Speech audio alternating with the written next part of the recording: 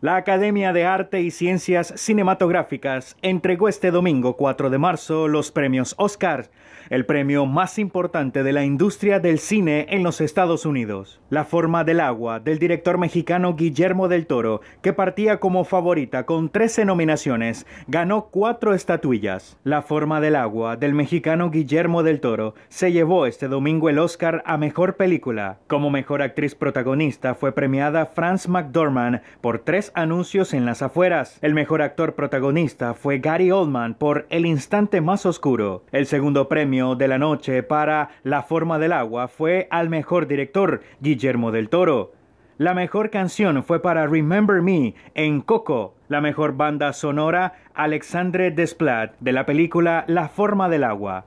La mejor fotografía, Blade Runner 2049. El mejor guion original, Get Out o Déjame salir de Jordan Peele. El premio a mejor guion adaptado fue para Llámame por tu nombre.